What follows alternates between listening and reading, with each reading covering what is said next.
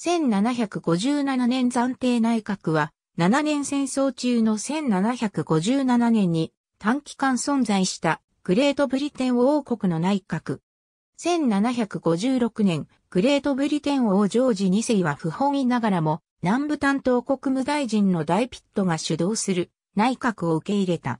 当時、内閣の名目上の首相は、第4代でボンシャー公爵ウィリアム・キャベンディッシュである。1757年4月6日、ピットがジョン・ビング提督の処刑に反対したことにより、彼を嫌悪したジョージ2世は、ピットとその義弟で海軍大臣のテンプル伯爵を罷免した。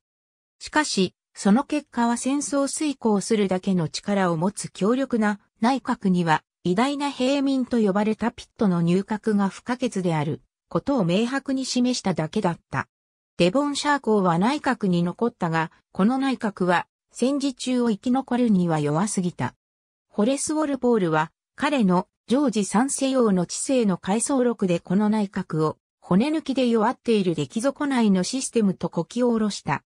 この暫定内閣の主な問題の一つとしては、庶民院内総務と言える人物が一人もいなかったことであり、また庶民院の主要会派からも支持されなかった。このため、デボンシャー公はピットにその政敵である初代、ニューカッスル公爵、トマス・ペラムイコールホールズと和解させる必要を感じた。ニューカッスル公は、議会で最も強いホイッグ党の会派を率いていたが、ピットは彼を入閣させないことで押し通した。